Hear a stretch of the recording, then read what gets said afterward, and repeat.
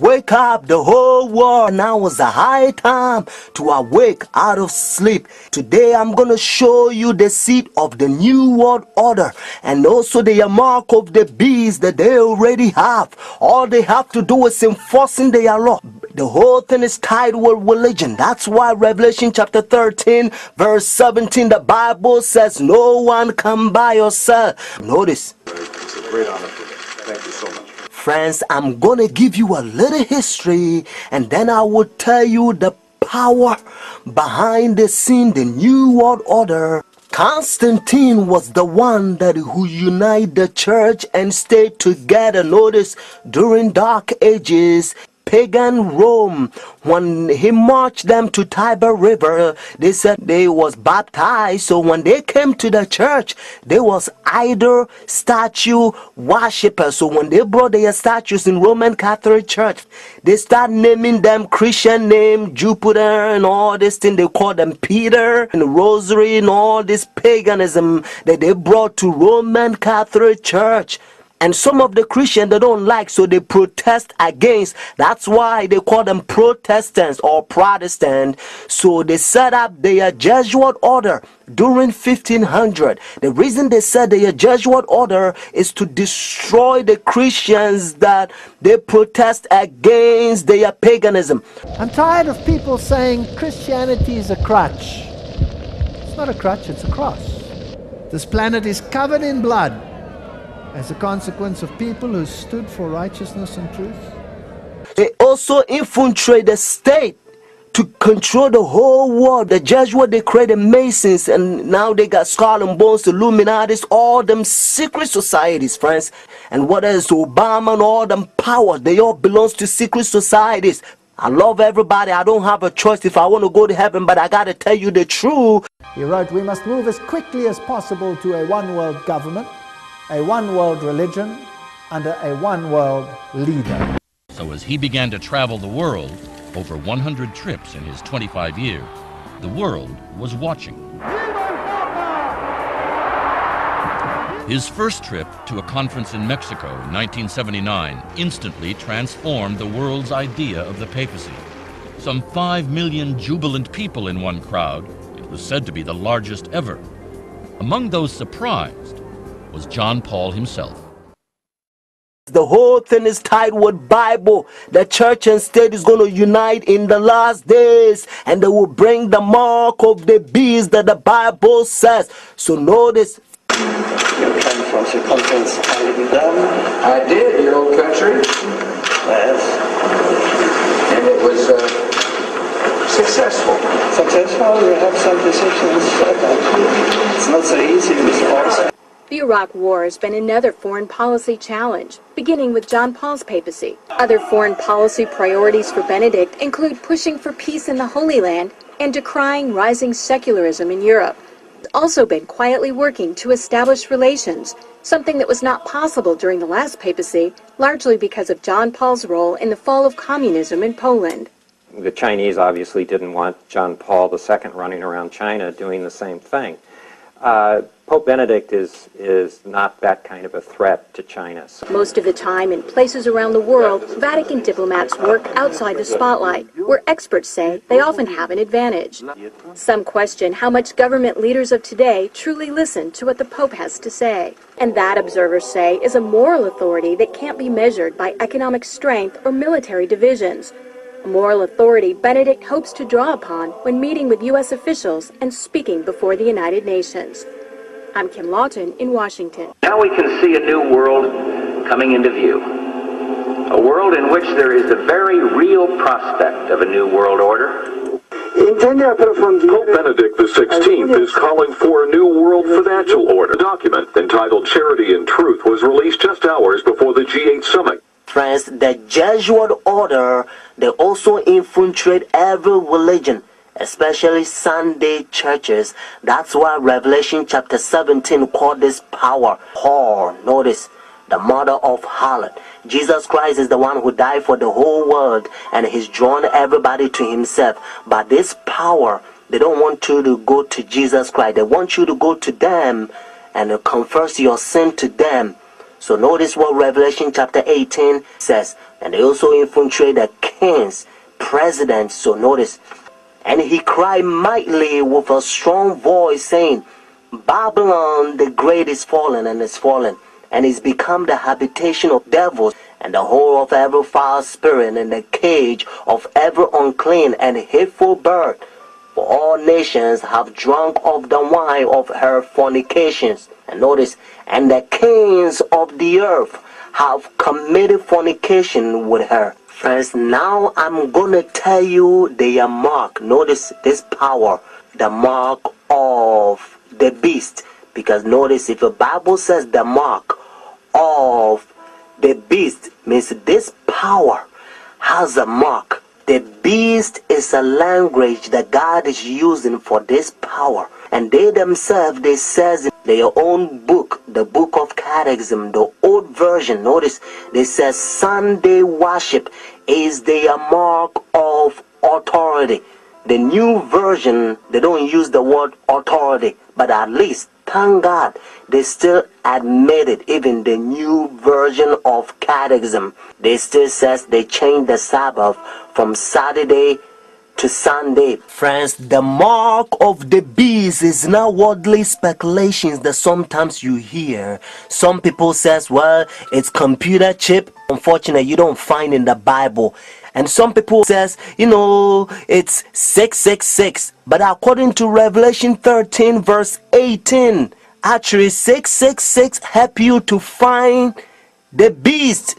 What I mean is to identify the beast. But the Bible says the mark. The reason why I repeat and I kind of stretch it because I don't want you to miss it. It's a deception.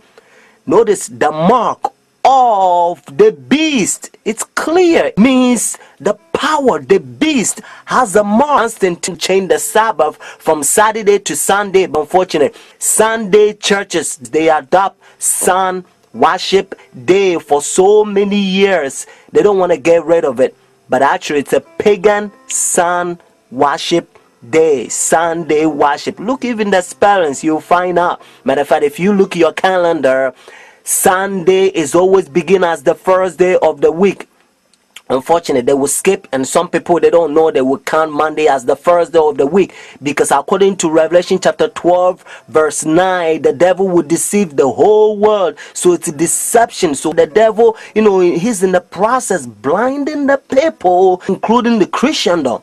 Friends, if you go to church Sunday, notice the first day church now you don't have the mark of the beast according to Revelation 14 and 13 unless the law it's an enforce. That's why now you hear different country they try to forcing the people to now sell or do anything on Sunday because they try to enforce the law. But according to Bible, notice United States is the one who's going to cause the whole world to worship the beast. Their sun worship day means Sunday worship according to Revelation 13. So whenever United States enforce the law, then every country also going to enforce because they control the whole world every president on the roman catholic church order of the ages, they were acting on an ancient hope that is meant to be fulfilled. And now, because they control every president in every country, they a new world order. So now they're using the president to sign up laws and all kinds of rules like gay and lesbian and now they don't want you to talk about bible you know. If you go to work they don't want you to talk about christ because you know they say it's offended. They try to put the whole world in darkness. They don't want people to know the truth just like what they did in dark ages. They remove bible from people and they put people in darkness so that they can control them. That's what they're doing again. Notice what Bible says in Romans chapter 13 verse 11 to 12 and do this knowing the time that now is a high time to awake out of sleep. Now our salvation is nearer than when we first believed. The night is far spent the day is at hand. Therefore let us cast off the work of darkness and let us put on the armor of light. The time you have spent to study Bible a year, now you have to do it couple months. It's time to pray more and talk less. Friends, Jesus Christ is coming for the church without spot or wrinkle. Watch this. When Nazi Germany attacked Britain in 1940, Winston Churchill called on his people to defend Christian civilization. Today there is a new kind of battle in Britain and Christianity is again at stake. Dale Hurd reports from London. The coronation of Queen Elizabeth. Like British monarchs before her, she promised to maintain the laws of God and the true profession of the gospel. But Britain today is at war with the gospel and with itself. Christians who try to be Christians in the workplace risk being demoted or fired, and the government continues to push an aggressive gay rights agenda while threatening to criminalize Christian speech and practice.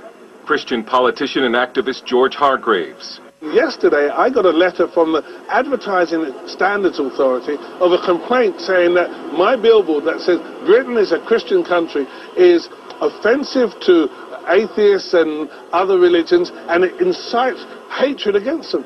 What nonsense. Britain is constituted as a Christian country. Daily prayers are said in Parliament, whether atheists like it or not. The Queen is the head of the Church of England and therefore has to acknowledge God for her sovereignty over the nation. These things are written into not just our culture and our heritage, but into our constitution. Great Britain is officially a Christian nation, and in fact, at one time was the missionary base for the entire world, even sending missionaries to the new American colonies. But Britain today, in practice, is increasingly anti Christian, and the cases of anti Christian bigotry and discrimination are beginning to pile up. In response, Christian legal centers have mobilized. Lawyer Andrea Minichiello Williams of Christian Concern for Our Nation warns that if British Christians don't step up now, Britain is on a path to criminalize the practice of Christianity in public. There's been a massive move by the secularist lobby to privatise religion.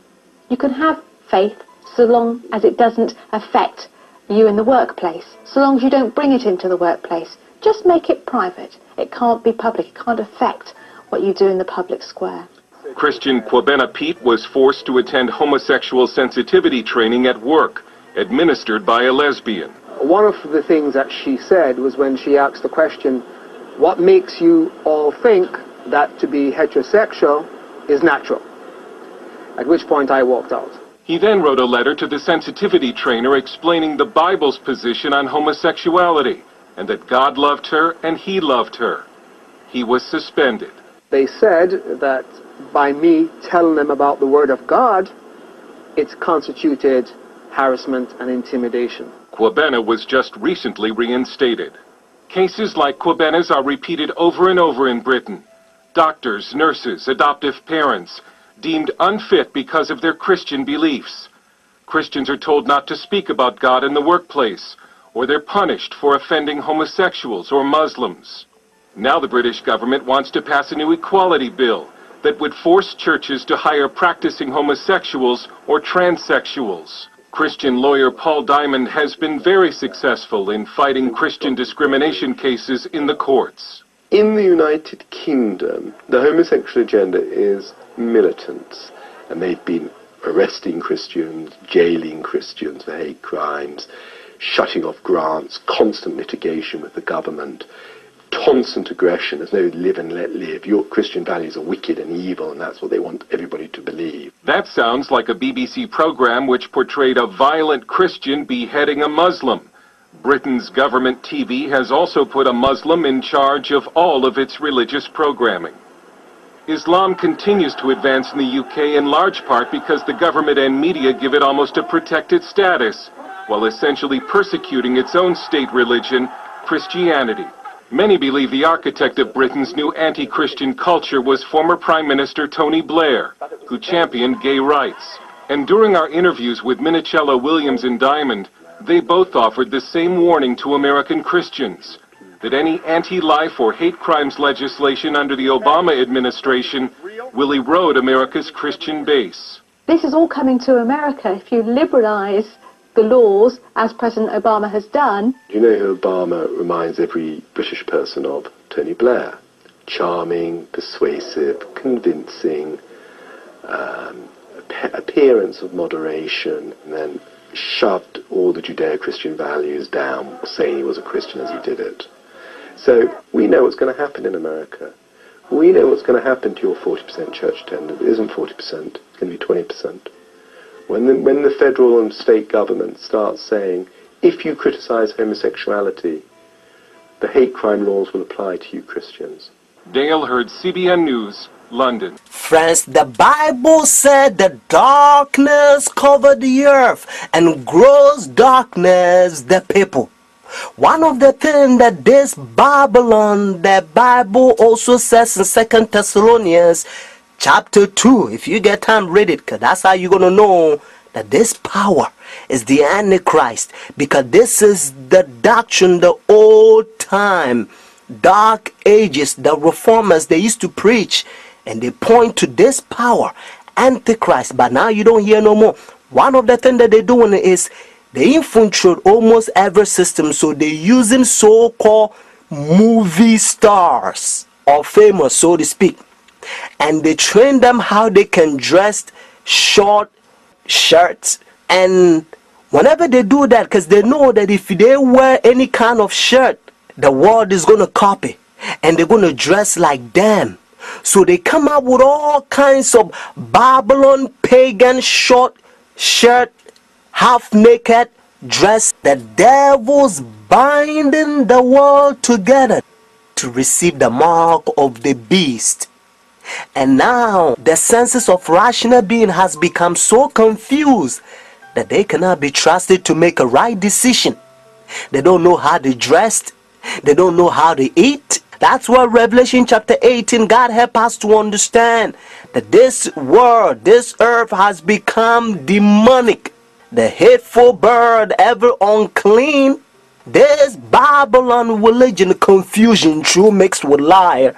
When they front of the camera, they pretend like humble people. Hypnosis, they hypnotizing the world. The Antichrist hiding in plain sight. The Bible called this system the mystery. It's a mystery for a lot of people. And according to Revelation chapter 13, the whole world will wonder after the beast. Whenever this power, they force the mark of the beast, the world is going to be wonder. They're going to be like, we thought they are humble, smooth walking, good people.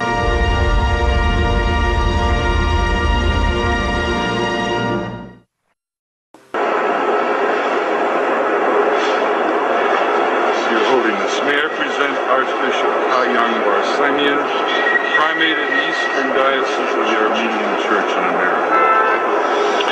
According to ecumenical protocol, the Eastern Orthodox would be first in order, as they are, of course, first in priority in the Catholic Church's ecumenical responsibility. The legate and ecumenical officer of the Eastern Diocese of the Armenian Church in America and president of the National Council of Churches in the United States.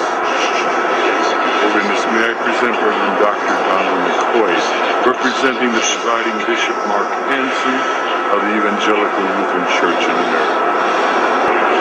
Holiness, may I present Bishop Jeremiah J. Park, Bishop of the New York Annual Conference of the United Methodist Church. Your Holiness, may I present Reverend Wesley Granberg Michaelson, the General Secretary of the Reformed Church in America. Your Holiness, may I present Reverend Dr. Clifton Kirkpatrick, the stated clerk of the General Assembly of the Presbyterian Church in the United States. Your Holiness, may I present Reverend Dr. William J. Shaw, President of the National Baptist Convention, United States. Your Holiness, may I present Bishop James Leggett, General Superintendent of the International Pentecost Holiness Church. Your Holiness, may I present Dr. Leith Anderson, President of the National Association of Evangelicals. Your Holiness, may I present Bishop David H. Benke, President of the Atlantic District of the Lutheran Church, Missouri Synod. Your Holiness, may I present Reverend Dr. A.R. Bernard Sr., President of the Council of Churches of the City of New York. Holiness, may I present Elder Bernice King, daughter of the civil rights leaders Martin Luther King Jr. and Coretta Scott King. Your Holiness, may I present Reverend Jimmy Song Jilim, Executive Director of the Council of Churches of the City of New York. Your Holiness, may I present the Right Reverend Mark Sisk, Bishop of the Episcopal Diocese of New York. You understand the language, Your Holiness? And this is how they call this power. He think he is God. That's what their teachings is all about. Friends, religious leaders, when they come to meet this power, they wearing black. Notice, dark color. They represent the sinners and he represent God. And now listen to what Bible says. Second Thessalonians chapter 2. This is the chapter the Protestant Sunday churches, they are forefathers. They used to protest against this power during dark ages and they call them Antichrist. Notice Antichrist. But now you don't hear from Sunday churches anymore because they betray their forefathers. Let's start from verse 3. Notice 2 Thessalonians chapter 2. Let no one deceive you by any means, for that day will not come unless the falling away comes first, and the man of sin is revealed, the son of perdition, who opposes and exalts himself above all that is called God, all that is worshipped, so that he sit as God in the temple of God, showing himself that he is God. Do you now remember that when I was still with you, I told you these things, and now you know what is restraining, that he may be revealed in his own time? Notice what it says in verse 7 For the mystery of lawlessness is already at work. The Jesuit order, they set their own president in every countries. They also create democracy and United Nations how they can finish the new world order. And if your president don't submit to their rules and give their power to them they will pretend like you have a new weapons and they will take you they will set another president that will submit to their rules so that they can finish the new world order. Friends saturday is always the sabbath the seventh day of the week. Notice, and again, it's always Saturday, and that's why the Bible says the seventh day is the Sabbath. Jewish nation, even though I'm not Jewish, they still keep the Sabbath Saturday, and also encyclopedia. You will find it even different language. If you speak Spanish, Sabado means Saturday. You can also find in the Bible, according to Genesis chapter 2, verse 2 to 3, you're going to find out that God created heaven and the earth six days, and the seventh day he rested, and that seventh day it's Saturday. And then Jesus Christ, remember, when Adam and Eve they sinned, Jesus Christ came to redeem our soul and he finished his work six days, Friday afternoon. Remember, that's why they call it Easter Friday or Good Friday. It says it is finished Friday and then he rested Saturday, just like he rested Genesis chapter 2, verses 1 to 3 and Sunday, the early day in the morning. You will find in the book of Luke, chapter 24, verses 1 to 3. You will also find in Luke chapter 23, verses 50 to 56. The seventh day is always Saturday until Constantine 321. He changed it from Saturday to his own pagan sun creation worship day the devil behind the scene you are about to see the power god is going to fill us with his outpouring just like he did it for the first century the apostle church and then we're going to go forward and preach the loud cry the third angel's message we're going to protest against their pagan sun worship day means their sun. Sunday worship and then Jesus Christ will come just like Bible says if the day is not short no flesh will be saved. But for the elect's sake means those who take a stand the day will be shortened. Friends this is a beautiful time in history because we only one step away from heaven. The mark of the beast the worship issue in Revelation chapter 13 if you get time read it because Revelation chapter 13 verse 12 it's a worship issue and verse 15 it's a worship issue and verse 8 is a worship issue. And the bible helps us to understand that behind the scene. Revelation 13 is the devil. He wants the whole world to worship him friends you have to escape. You have to study your bible. Christ is calling you. Whether you are Christian or not, whenever you hear Sunday worship in any countries, do not accept it. God is going to protect you. Bible says our bread and water will be sure. Your Holiness, on behalf of all of us gathered here today, indeed on behalf of all the people of our beloved nation, we welcome you back to America. When a Catholic Jesuit learns Sunday churches, their doctrine, and Vatican II, when they infiltrate their churches, and they draw all their churches to so-called the mother of the church because they know their doctrine and they can answer questions and preach so the members of the Sunday churches they think all the pastors are faithful pastors so now it's all about my pastor says, my pastor says, my pastor says. And this is the crying that a lot of times you hear from them. Instead of them to study to show thyself approved, just like Bible says, they making the flesh their right arm. And some of them, when they learn the Sabbath truth, that is always Saturday, because their pastors has been hypnotize them for so many years. So when they go and they talk to their pastors, instead of them to talk to God and make decision based on that says the Lord, they make their pastors make decision for them because that's how bad they hypnotize them. They come right out and state exactly how they infiltrate any religious group they want. They'll come in pretending to be a Pentecostal, pretending to be a Baptist, taking the leadership role and then completely subverting it from the inside. Friends, don't let the devil use hypnosis preachers, whether it's the pastor or whoever they are, to tell you that you're not going to be holy. You're going to sin until Jesus Christ come. That's doctrines of the devils. When God says, Be you holy because I'm holy. When Jesus Christ set you free, Bible says, ye shall be free indeed. If you think that God is bigger than the devil, then you're going to be holy by the grace of God. But if you think that you're the devil, notice your devil is bigger than God, then the devil's going to make sure that he keep you in darkness. He will keep you to sin until Jesus Christ come and then you're going to be doomed. Friends, God, His creation power. Genesis, when God said, Let there be light, and there was light.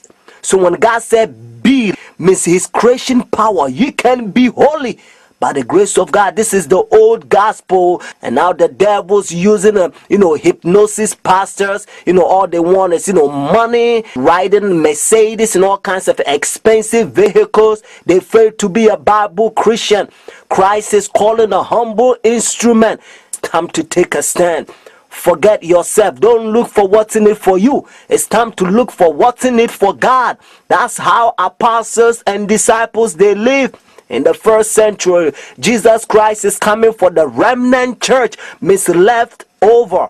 Our character, our lifestyle is going to be like the first century, the church that Jesus Christ set up. Christ is coming. Believe that you're going to be holy. He's going to help you. It depends how you program yourself. If you are watching a Jesuit, Hollywood, worldly, program, so called television program, then the devil's gonna use those pagans or infidels to preach you, and you're gonna be in darkness until Jesus Christ comes. No one need say that his case is hopeless, that he can't live the life of a Christian.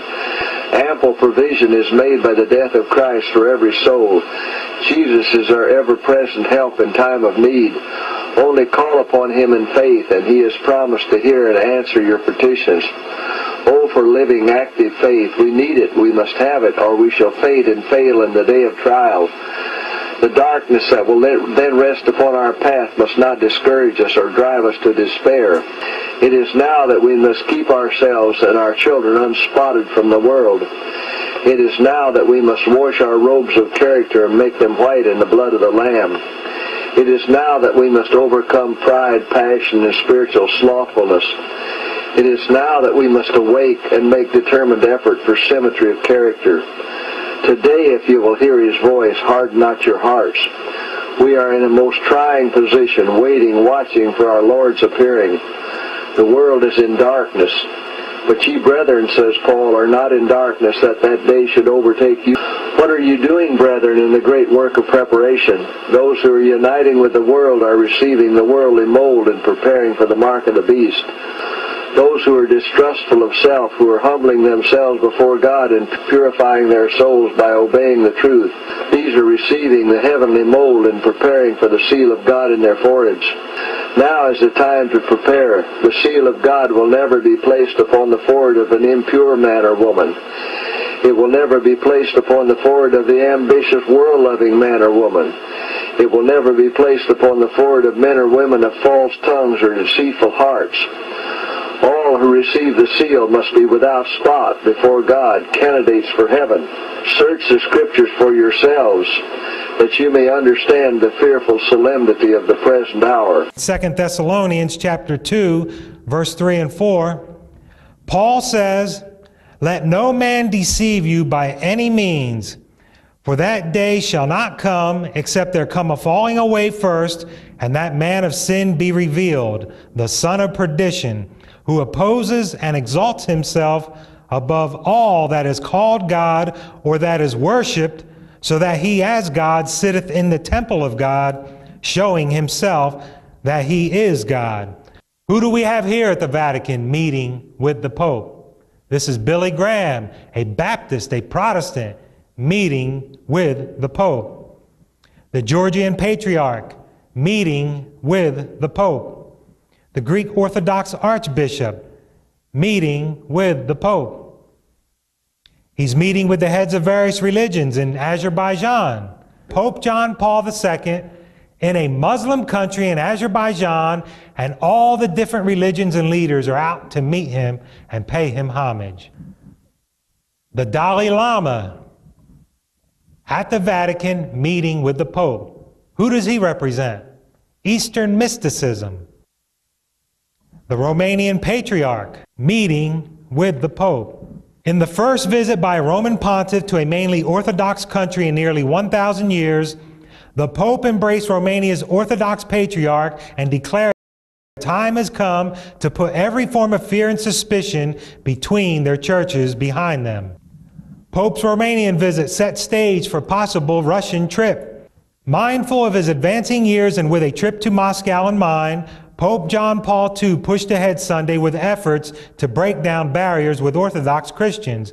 The Pope's visit, part of his drive for reconciliation among the various Christian denominations as the new millennium approaches, has spurred hopes for greater unity between the Roman Catholic and Orthodox churches in Romania, despite the conflict in neighboring Yugoslavia. Pope John Paul II's weekend visit to India concluded today in an atmosphere of religious harmony and unity. The Pope received a reverent welcome from leaders of Hinduism and seven other faiths.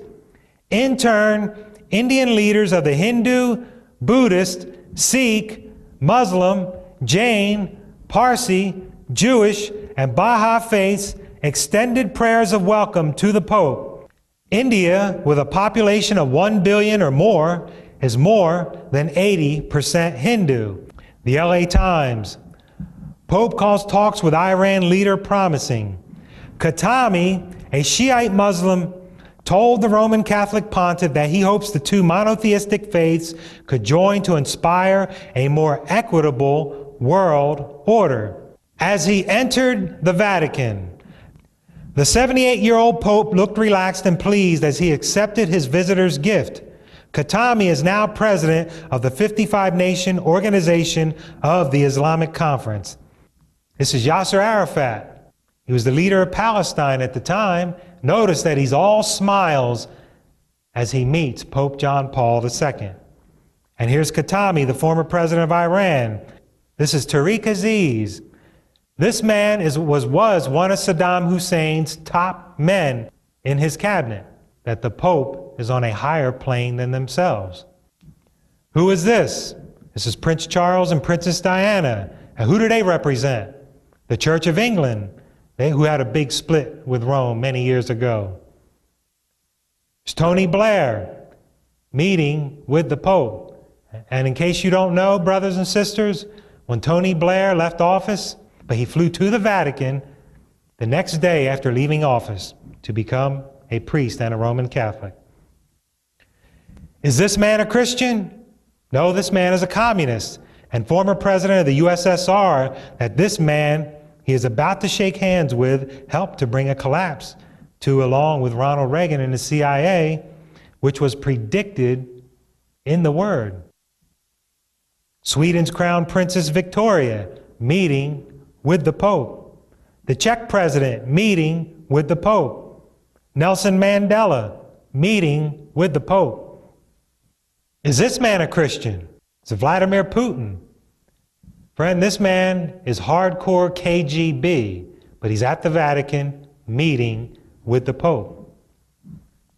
The Israeli prime minister meeting with the Pope. Even dictators are meeting with the Pope. The Philippines president, Gloria Arroyo, meeting with the Pope. Vicente Fox, former president of Mexico, meeting with the Pope.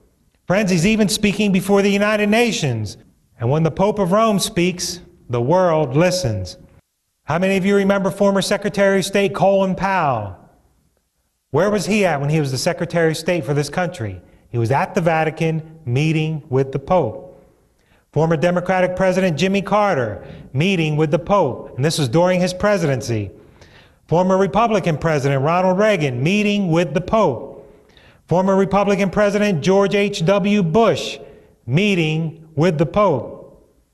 Former Democratic President Bill Clinton meeting with the Pope. George W. Bush meeting with the Pope. And notice they're all wearing a black suit. Laura Bush at the Vatican with her daughter meeting with the Pope. Nancy Pelosi, she's about ready to kiss the hand of Pope Benedict XVI when he made an appearance here in the United States, April of 2008. Rome's reaction to the Constitution of the United States, of course, was not favorable because the whole papal system was built on the union of church and state. As our president talks about how we want to bring democracy to all these countries of the world. Well, why doesn't he want to bring a republic to these countries?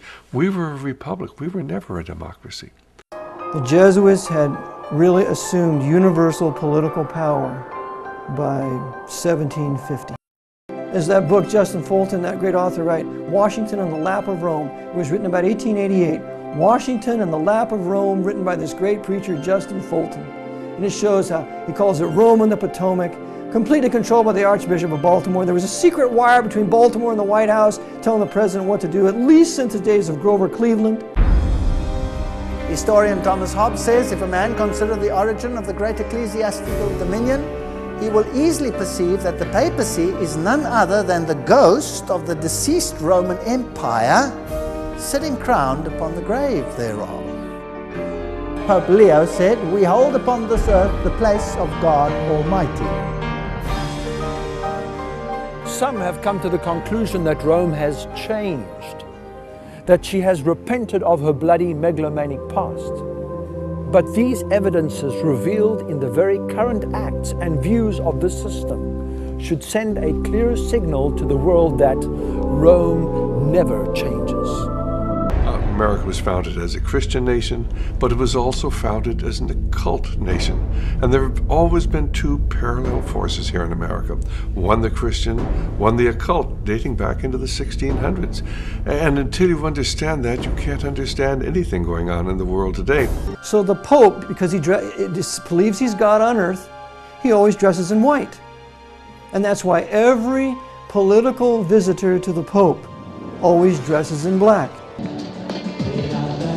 The Orthodox, the Muslims, the Eastern religions, sun worship, Zoroastrianism, all of them bow down to him. Friends, whenever they enforce their sun worship day, Sunday worship. Whenever the law is enforced in your country, do not accept it. The mark of the beast in your forehead, symbolic in Revelation, your forehead means your decision. And also, when Revelation says their right hand means your action will follow your decision once you accept their sun worship day when it's an enforced Sunday worship.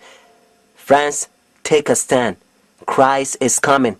He loved you so much so that when he was on the cross, Jesus Christ says, I thirst. So whenever you're in temptation, remember when he says, I thirst because of you and I. Order the great controversy. Notice the book, The Great Controversy, because it's preparation. It will prepare you by the grace of God.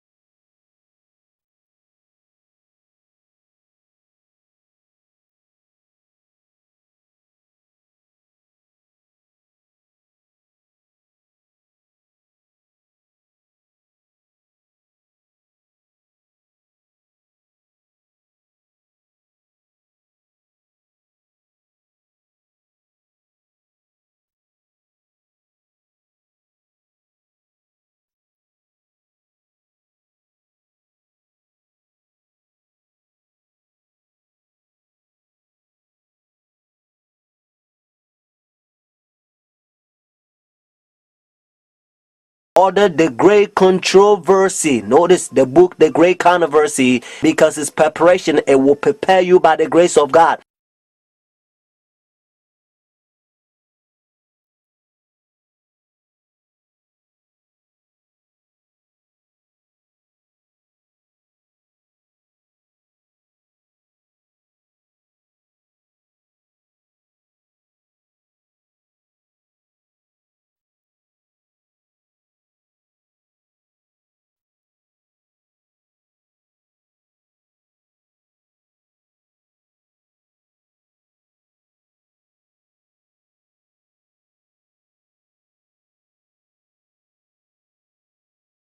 The great controversy. Notice the book, The Great Controversy, because it's preparation. It will prepare you by the grace of God.